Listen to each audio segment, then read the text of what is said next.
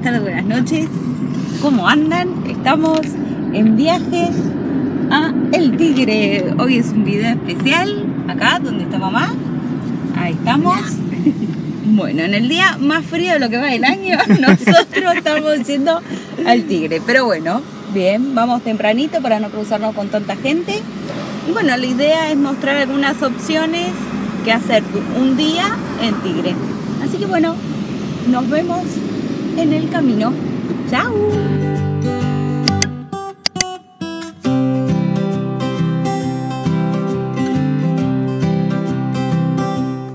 Llegamos a lo que es Tigre.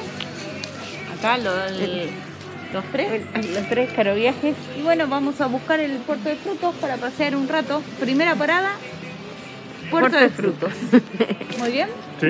Estacionamos más o menos cuatro cuadras porque para no para no buscar estacionamiento por allá. Así que bueno, vamos para allá.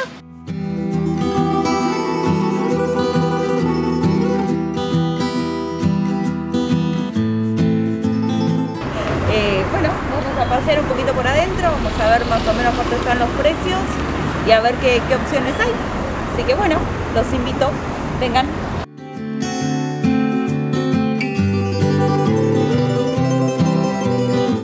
Puerto de frutos es un pequeño embarcadero a orillas del río Luján, en la localidad de Tigre, junto al cual se ubica el mercado de frutos.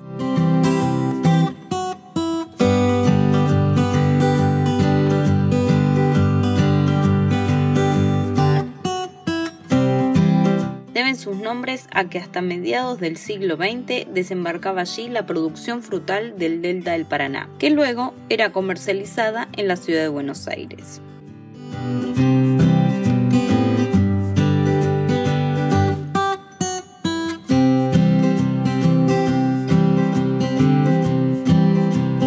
Una galería en donde, bueno, ya vimos que hay banquitos, hay cosas de madera, hay un montón de cosas. Bueno, vamos a seguir recorriendo por estos lados.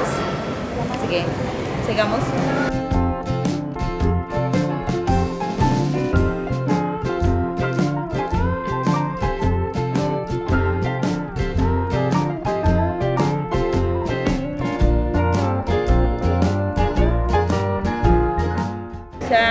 Parte del puerto de frutos. Ahí atrás está el parque de la costa. Y acá tenemos parte del río. Si querés tomarte algunos mates o algo frente al río, es una buena idea.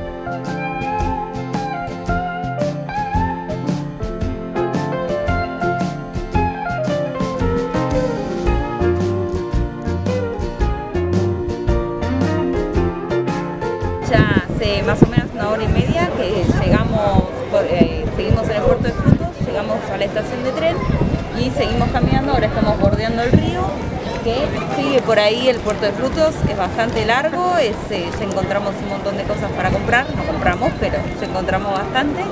Así que bueno, es una opción para pasar el día. Vengan a Tigre. Si bien el puerto de frutos ya era conocido hace muchos años, con la construcción del tren de la costa y el parque de la costa, la zona se revalorizó mucho, pasando de ser una zona marginal a volver a tener resplandor. Con los años se multiplicaron los puestos de venta, convirtiéndose algunos en venta de todo tipo de accesorios para el hogar. Se multiplicaron también los visitantes del puerto y mercados de frutos. En el comercio, la producción frutal del delta ha decaído y actualmente los únicos productos de las islas que se comercializan en este mercado son las artesanías de mimbre y junco, muebles de pino, miel de abeja y embarcaciones que salen de la isla a vender mercadería.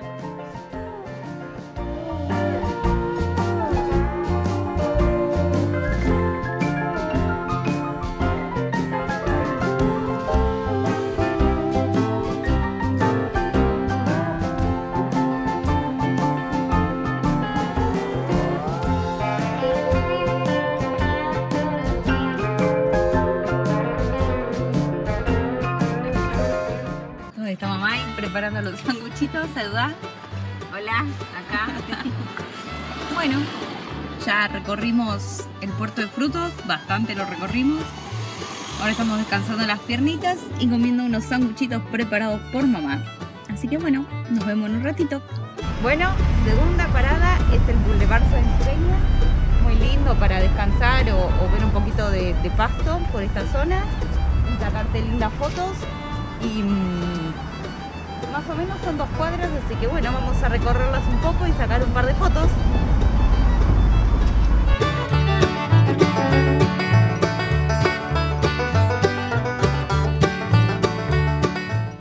Boulevard Sáenz Peña, un nuevo paseo renovado por artistas, fotógrafos, ferias de antigüedades, músicos y puestos coleccionistas itinerantes que traen sus tesoros inigualables para compartir con sus visitantes.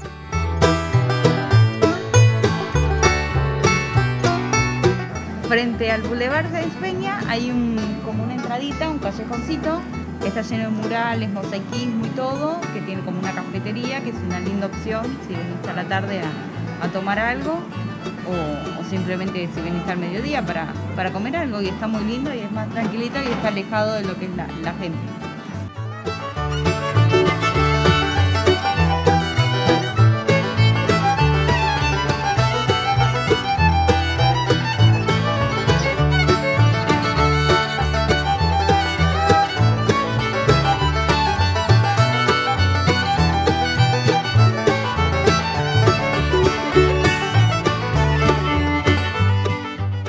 ¿Dónde estamos, Doc? Hola, estamos en un paseíto que es acá cerca del río, que veníamos del bulevar y ahora queremos pasar para el otro lado y bueno, estamos atravesando por este lindo paseíto, con parquecito y todo.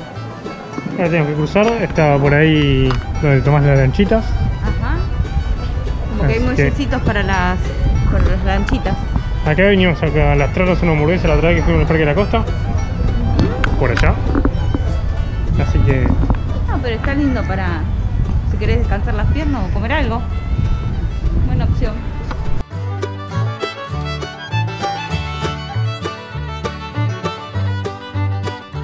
Bueno, esto parece un emprendimiento para las mujeres emprendedoras que venden artesanías. Es algo nuevo acá en el Tigre.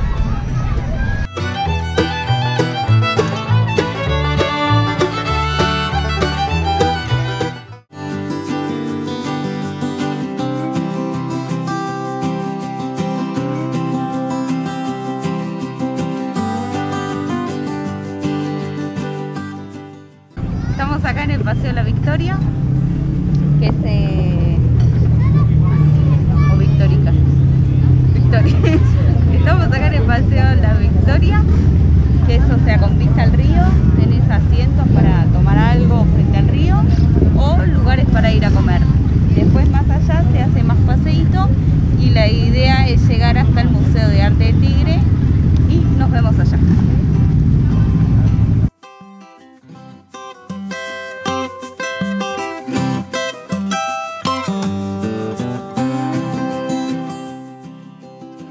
Bueno, acá atrás tenemos el club de regatas. Estamos como en una esquinita donde dobla el río. Y allá, por ejemplo, tenemos el Parque la Costa. Ahí se escucha.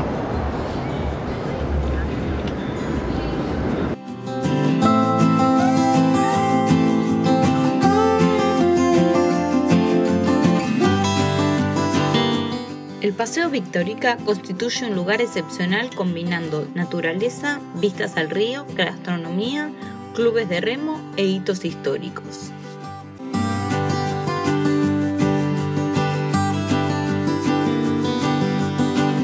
El atractivo de esta pintoresca costanera es la variedad gastronómica cercana al atractivo del río, el paseo de los museos y el acceso a la mayoría de los clubes de remo.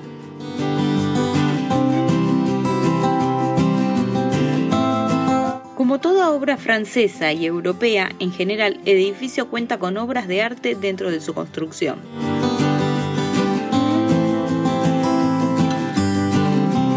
Ya pasamos todo lo que es el Paseo Victórica hasta llegar al Museo de Arte de Tigre.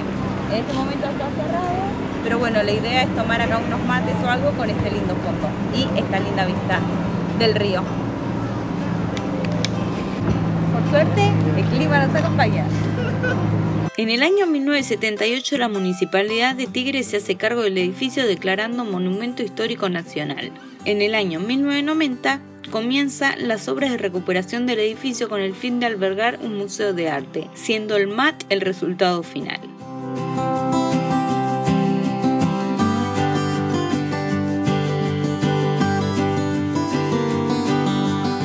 Nos fue un día muy copado, eh, linda visita, nos tocó un día muy lindo. Sí, ahí, por eso, hay estas cuatro cosas es como lo que nosotros decimos y es la propuesta que les damos, seguramente hay muchas más cosas, también está el Parque de la Costa y más lugares por recorrer, pero bueno, estas cuatro paradas son las que nosotros hicimos en un día. Espero que les haya gustado, pueden visitar la página caroviaje.com.ar Ahí van a tener fotos y cosas que vamos subiendo. No se olviden de visitar eh, la página. Nos encuentran en Facebook eh, Caro Viajes o en Instagram caro.viajes. Y no olviden de suscribirse y darle like. Bueno, nos vemos. Y nos vemos en el próximo video.